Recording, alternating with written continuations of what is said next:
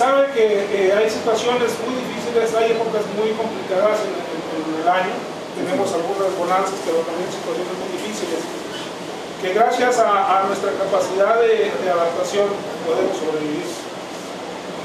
Quiero decirles también que nosotros como comerciantes eh, vivimos de nuestros clientes y nuestros clientes son panistas, son priistas, son perredistas, son petistas.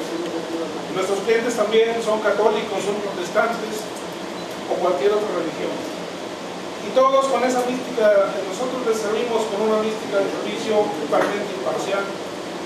Repito, de ellos vivimos y a todos les tratamos de dar el mejor de, los tratos. Le digo a esto por lo siguiente, nosotros con esa mística de servicio le proporcionamos nuestro servicio, valga la redundancia, a la pasada administración. No fue a Mario Quiroz a quien, le proporcionamos los servicios, no fue a una administración priista, fue al honorable ayuntamiento. Nosotros les proporcionamos un servicio que a la fecha aún no nos ha podido liquidar. Hemos estado en prácticas con el tesorero municipal y nos han comentado sobre un posible crédito que viene por parte de Santander. Pero queremos decirle a todos ustedes que nosotros tenemos ya cuatro o cinco meses en espera de esa solución. Que tenemos ocho meses sin que se nos haya liquidado ese deuda.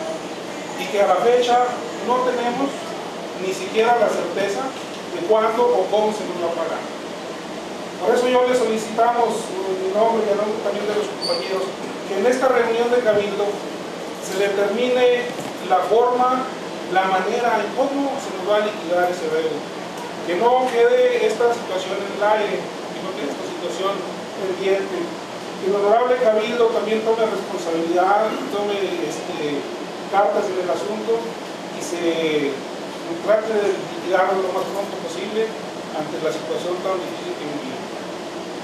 Quiero terminar mi participación, señor presidente, diciéndole, yo estuve presente en su toma de protesta, la mayoría de las personas que aquí estamos lo, estuvimos ahí.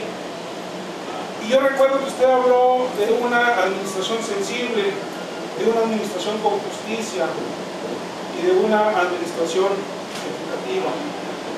Yo le pido, señor presidente municipal, que sus palabras las vuelva a hechos